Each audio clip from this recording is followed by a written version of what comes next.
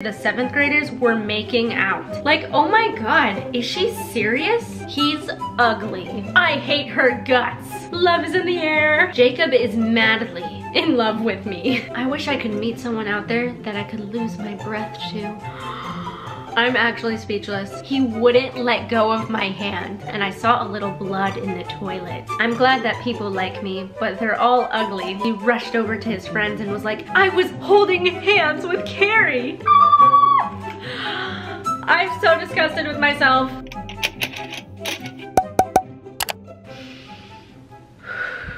Hi everyone. We have officially made it to part five of the Reading My Diary series. It is crazy to me that it's been over a year since Reading My Diary part four. I have put out some other videos of me reading my diary in the meantime, but this is the official part five in the Reading My Diary series.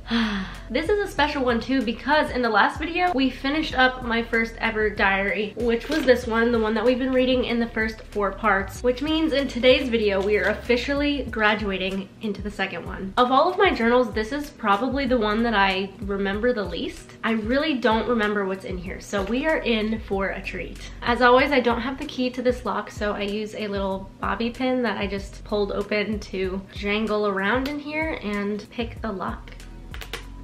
Aha, there we go. So for reference, I started this diary on August 26th, 2013, and I ended it on July 23rd, 2015. So it took me about two years to fill this up, and I started this when I was 11 and ended it when I was 13. This diary, I remember, was actually my friend Megan's. She had this diary and she had written in the first chunk of it, like the first few pages, and when I saw it at her house, I was like, oh my gosh, I want that so badly, and she was like, oh, I never use it, you can have it. I don't know if you can tell, but there's little sections in the binding, and the first section here was actually taken out, which is where her pages were were. I'm so scared. So when I first opened this up, on top of the very first entry are these sticky notes. And I don't know how old I was when I wrote them because they're not dated, but it must have been somewhere in the range of 11 to 13, probably closer to 13 if I had to guess. They're honestly really, really sad. I'm not gonna share them all just because like some of it's very personal, but just to give you an idea, here's one of them. I was basically just having like a little crisis at the time. And I guess I just wrote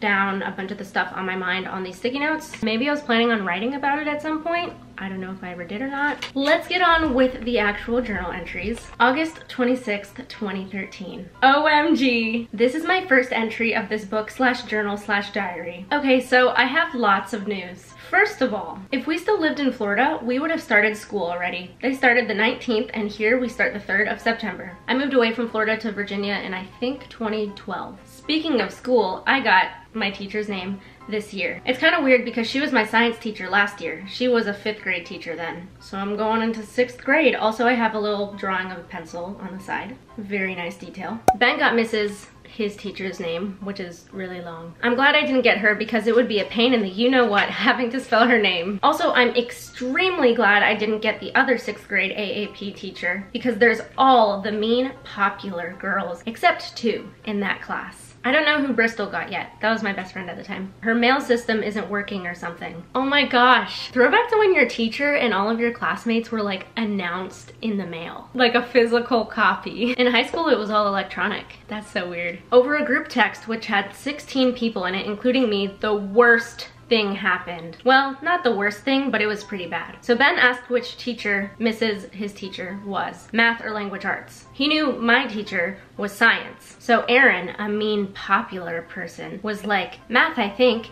math teachers are the worst. And then I put a little plus, minus, times, and divide. and I was like, nah. And she was like, yeah. So I told her how our teacher last year was awesome, but she disagreed. Our teacher last year was a math teacher. Also, okay, wait, let me explain something really quick. There were three different classes of the grade. You had your main homeroom teacher, but they also specialized in like a subject. So in sixth grade, my teacher was the science teacher, but I also had her for like other homeroom stuff. And then at some point during the day, we would switch to the other two teachers of the three for like math or language arts. And then history was in there somewhere. So I told her how our teacher last year, and she was a math teacher, was awesome, but she she disagreed. She said I only thought that because she liked me and I never got in trouble and that I was a teacher's pet with a girl named Tori. I mean, Honestly, I kind of was in fifth grade. Then I told her that she was being kind of mean, and this was her exact response. Yes, you were. Whenever we would try to have fun, you're like, we're gonna get in trouble. And I only speak the truth. If you're too scared to accept the truth, don't be my friend. That is so sad. Poor little Carrie, I was just trying to do the right thing and she was being so mean. If you're too scared to accept the truth, don't be my friend. I'm gonna start using that. Like, oh my God, is she serious? In front of 14 other people? Ben started agreeing with her, but then I told him, you're my brother! And he apologized, but Aaron didn't. Come on, Carrie, live a little.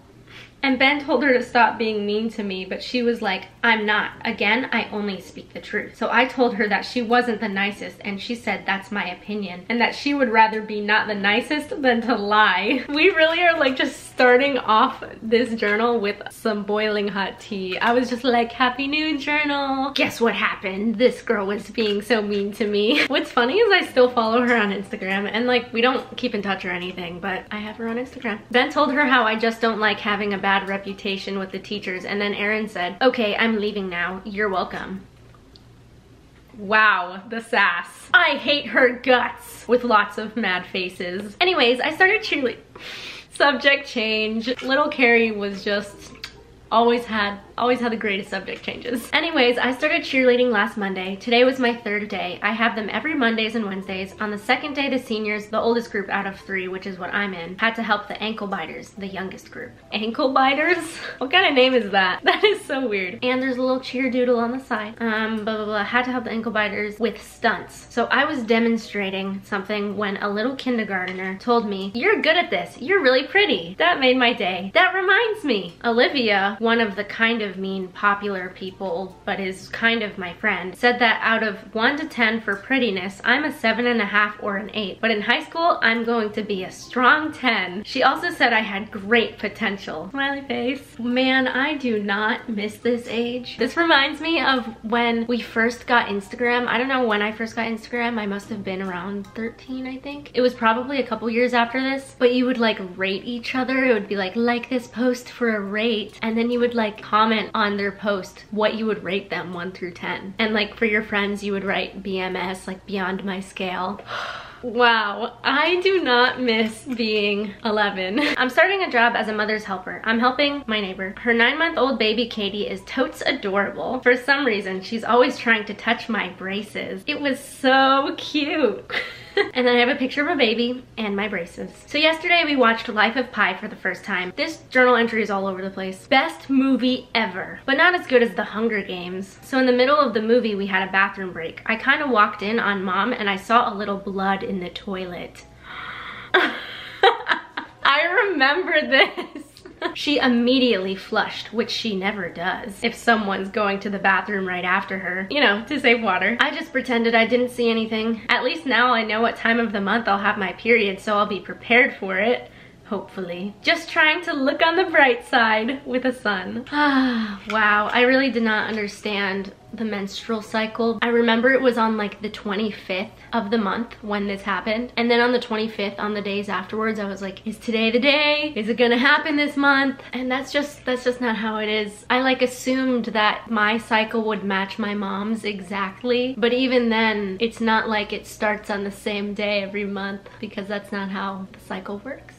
So moving on to the next entry, August 29th, 2013. Now we're writing in orange. I was writing in pink before. I'm pretty sure I write in like yellow and then green and then blue in the following entries. OMG, OMG, OMG. I'm so upset. Oh, I thought it was a happy OMG. Bristol's not in my class. She's in Ben's. It's not fair. At least she's not in the third class. It turns out Vincent is in my class. That was one of my brother's friends. We went to open house today. I'm sitting with someone named Jonathan. He's new this year. New with a K because I don't recognize his name. I'm pretty sure he wasn't new. I don't know the other two people who sit at my table. You get to choose where you sit and only Jonathan's name tag was there. Okay, for context, you like walk into the classroom on like the little meet the teacher thing before school and you like put your name tag down on the desk. And at the time there was a group of four tables. Only Jonathan's name tag was there and the three other tables were empty. So I put my name down on one and then the other two people came in after me at some point. I hope he's cute. By the way, for some reason, I love the name John. He, he, he, Jonathan. I don't know why. I feel like ever since I was really little, I was convinced I was gonna marry someone named John, which is just so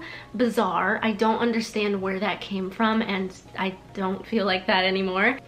But hey, I guess I was hoping to have the hots for Jonathan simply because his name was like John. Okay, so the story that me and Gabby were gonna write. Oh my gosh, I literally am gonna have like a stroke with how much I jump around and change topics. Anyway, my friend Gabby and I were writing a story. So the story that me and Gabby were gonna write, but then I didn't want to write anymore because it would be so embarrassing if anyone read. Yeah, I have an idea. So I've been wanting a laptop and if I had one, I could just type the story with Gabby. Plus, I could do my homework on it and get Minecraft. It's brilliant. Now all I need to do is convince mom why I should get a laptop. I didn't get my first laptop until after I graduated high school. So yeah, I definitely did not convince her. But I have a picture of an A plus on a piece of paper. Maybe that's how I was gonna convince my mom getting good grades. A Minecraft block and a piece of paper that says by Carrie and Gabby, which is our story that we never wrote. I'm visiting home right now and I scavenged my room to find this binder, which has the outline for the story that Gabby and I were going to write. I knew I had it in my room somewhere and I finally found it. I have not looked at this in so long. It has some nice pink paper and there's a character list by Carrie and Gabby. So these are the kids slash students. I guess it's like in a high school type setting. Probably high school if I had to guess, even though we were in elementary school, like 11 years old at the time of writing this. So the main character is Marissa Thompson. She is short, has brown hair, blue eyes, and is awesome, which is probably supposed to be modeled after me. Then there's Juliana, or Julie for short, Williams. She's tall, is dirty blonde, has brown eyes, and is amazing amazing. That's probably supposed to be Gabby. Then we have John Stevenson, which is,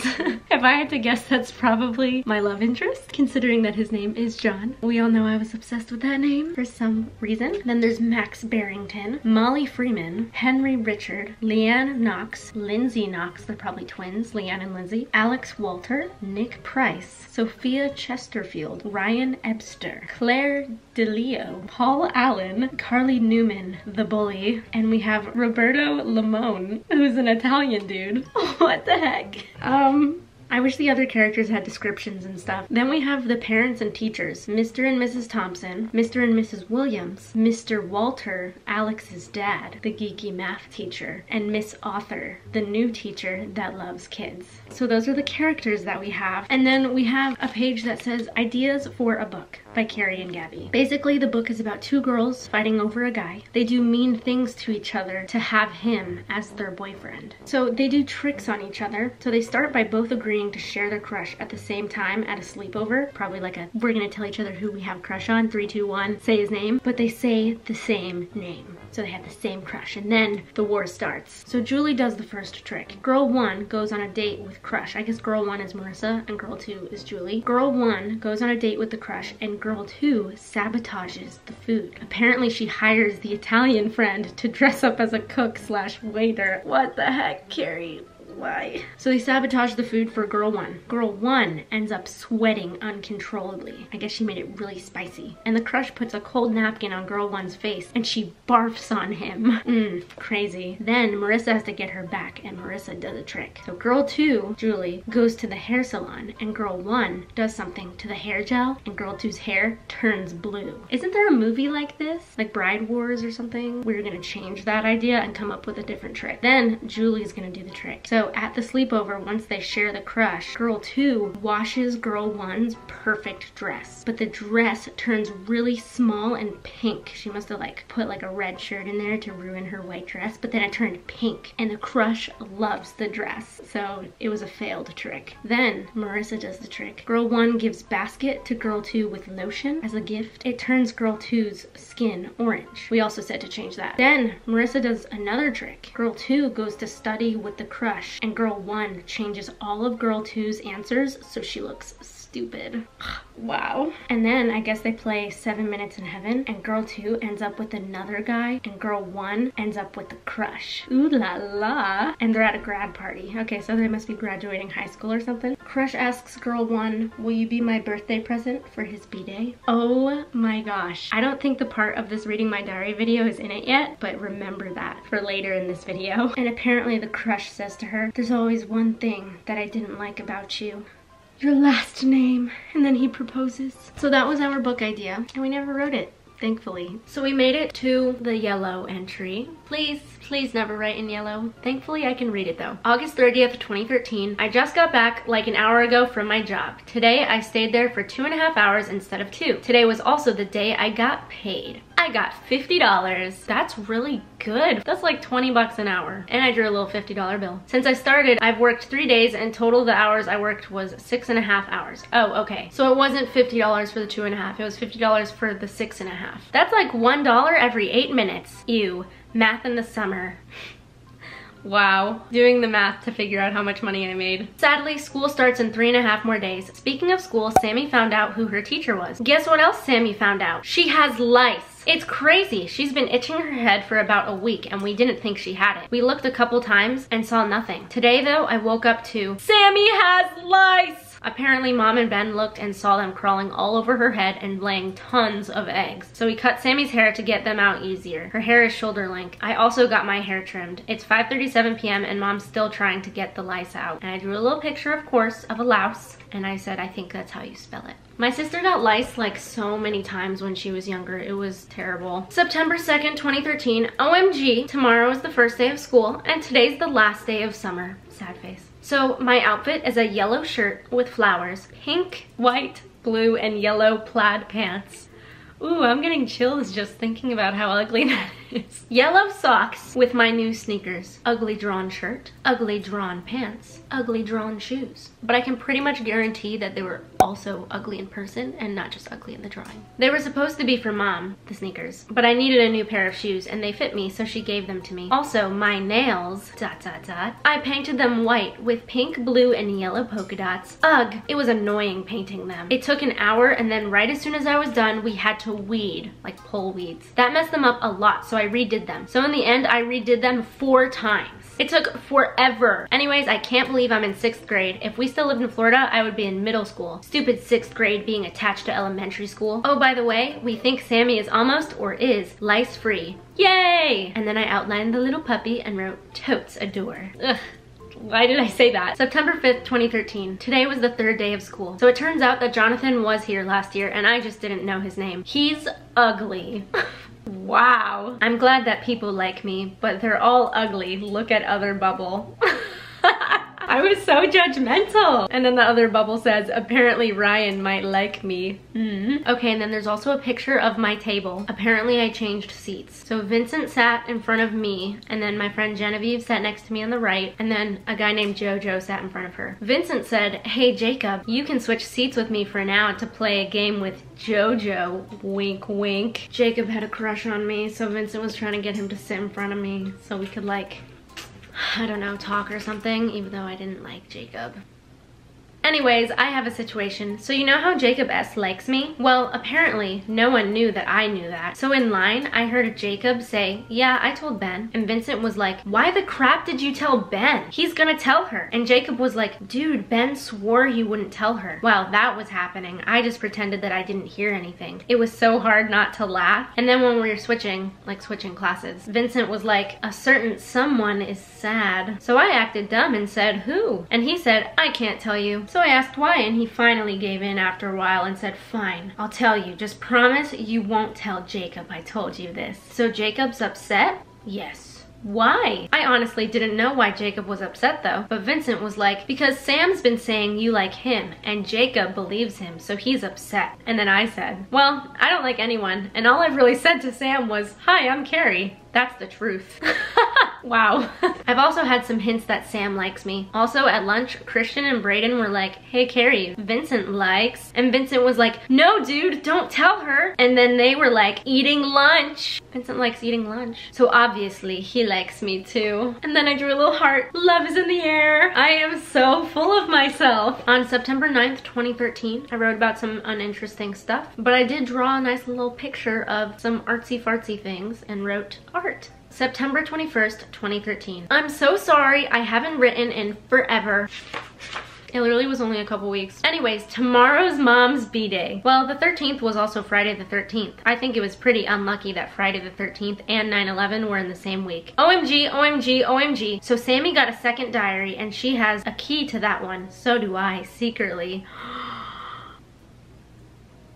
I'm actually speechless. I'm actually, I don't remember this. I I don't like where this is going. I'm gonna be really upset at myself if I read her diary because that is like everyone's biggest fear with a diary. What's that sound that's like, is it me? Am I the drama? That's literally what I was that's what I was doing. So I looked in it when she was outside or something and it said, I love her crush's name and he is eight. It was so adorable. I'm so not telling her I have a key because then she'll stop writing her juicy secrets in there. I'm so disgusted with myself. oh my gosh. She spelled all of that right too. I'm so proud of her. But seriously, she's liked that guy since kindergarten and I had my first crush in third grade on Jack. Ew. He's a butthole. wow. Clearly I was way over Jack Smith. Well, anyways, Sammy's at her friend Sophia's sixth B-Day party, and Ben and Nate are at Hershey Park with their Boy Scout troop, so I'm her with mom and dad. I can't wait until Nora's supposed to visit. I've already planned it all out. It's going to be so much fun. October 17th, 2013. Apologies for not writing in forever, without an E, forever. Anyways, during cheer, some of the 8th graders were talking. They said that last year, the 7th graders were making out. Like, that's crazy. Mom and dad would kill me if I was making out with someone next year. So in the beginning of September, I wrote about Christian and Brayden saying to me, Vincent likes, and Vincent was like, no dude, don't tell her. And then they were like eating lunch. So yeah, I thought Vincent liked me. Apparently, Vincent likes Elizabeth and she likes him back. Well, back to cheer. She also said that someone that was super cute asked her out like this. Hey, tomorrow's my birthday, so will you be my birthday present? Ugh, the cringe. she was going on and on about how happy she was and how they're now BF and GF. That would be so sweet. I hope some really cute, nice, smart boy asks me out like that one day. Now back to school crushes. According to Vincent and all of Jacob S's friends, Jacob is madly in love with me. Like he is drooling over me. Teehee. Not only am I super happy about this, but I also feel super bad because I don't like him back. I just want to be friends. Friend zone, lol. what should I do? I don't want to crush him, but I also don't want to keep him wondering and hoping that I have the slightest feelings for him. What should I do? And then there's this really interesting picture of Jacob screaming, Carrie! And then there's me crying, saying, help me, please. and in between us is a heart with a question mark. And I wrote in a bubble, love is tough. Like this is really embarrassing, but it's also really cute looking back at this 11 year old journal entry. I wish I could meet someone out there that I could lose my breath to. A charming, intelligent, handsome, loving, honest guy who loved me for who I am. Facts.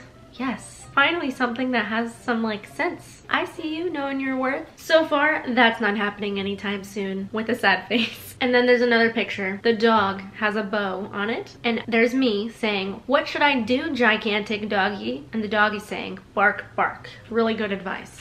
The next entry is on November 5th, 2013, but I just read this entry in my journal or drink YouTube video, so I'm not gonna read it again, but if you're interested in hearing it, you can go watch that video. November 22nd, 2013. I haven't written in forever. I've had too many projects. I felt like I just needed to write what happened today so I won't feel as sad and mad. Me and Madison have been planning a sleepover for a couple weeks now. We've never been to each other's houses before. Ben and mom have strep throat. Dad's getting sick too. So I was going to go over to Madison's for the sleepover. The plan was that we would text after school school and get each other's address. At 4.30, I texted Madison saying I just got home. I waited about 10 minutes, but there was still no answer. Then it was 5. No answer. I kept texting, asking where she was. Then it was 6. Then 7. Then 8. I kept checking my iPad. Oh my gosh, that's right, I didn't have a phone yet. I didn't get my first phone until 8th grade, I think. I kept checking my iPad every minute to see if she had texted back. No answer. Finally, at 8.15, I got a text from Isabella. It said, Hi Carrie, it's Madison. I'll text you when I get home. Hunger Games was awesome.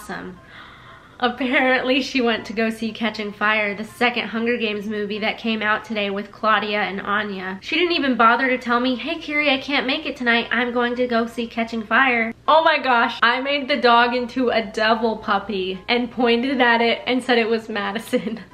Like, I can understand being upset, but that's a little much. Then once they got there, they met up with Catherine, Isabella, Maddie, Abby, and Allie. Even though she had friends with devices that could contact me, she still didn't. So I was waiting for her to get back home so she could explain to me what happened. So I was waiting for Madison to get home. Again, I was waiting and waiting and waiting, and then finally at 9.20, she said, Hi Carrie, my mom said no to a sleepover, but we can hang out on Sunday. Sorry I didn't text you earlier. My mom was wondering what your mom's email was so she could email her about a possible sleepover soon. That's so weird that she asked for an email and not a phone number. So I told her what happened, how I was checking my iPad 24-7, how I had no idea what she was doing, how I felt like she'd rather ditch me to go see a movie after she made plans, after she told me to my face that she would text me after school. I don't know if I want to be friends with Madison anymore. Friends don't do things like that. She could have asked, hey Carrie, wanna come? But she didn't. I really thought Madison would be a good friend of mine. I guess not. Although spoiler alert, Madison and I ended up being very good friends, so that's kind of funny.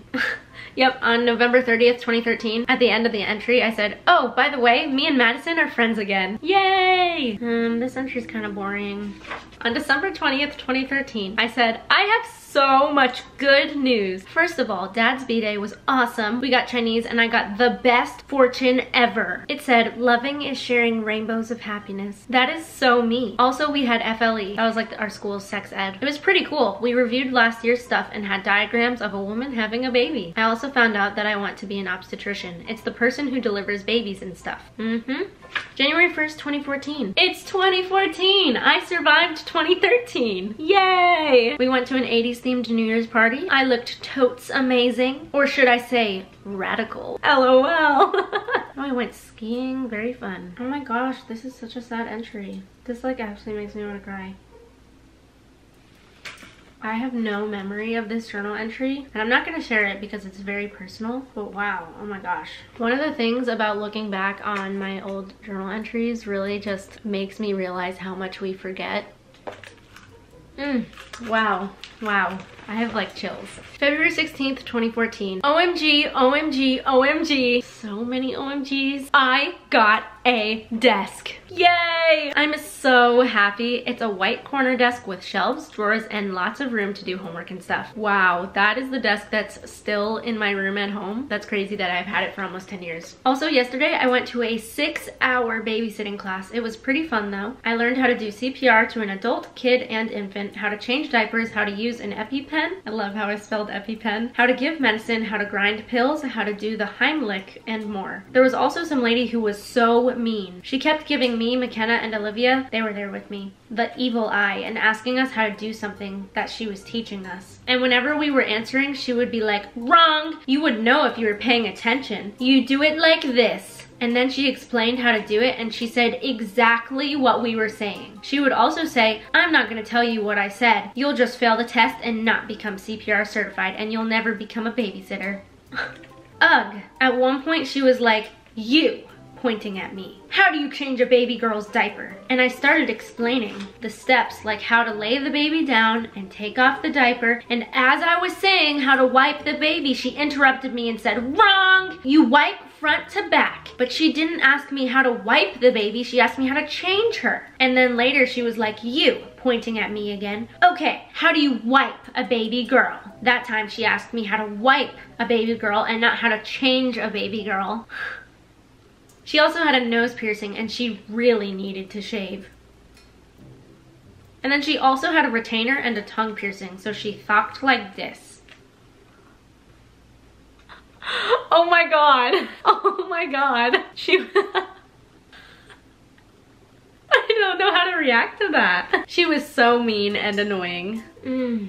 Oh my gosh, there's so much sad stuff in here. I don't want to read the details of this journal entry, but I wrote it on March 15th, 2014, and I was sleeping over with one of my friends, and her parents were getting a divorce at the time, and so she just started like bursting out crying to me and was explaining the effects that it had on her.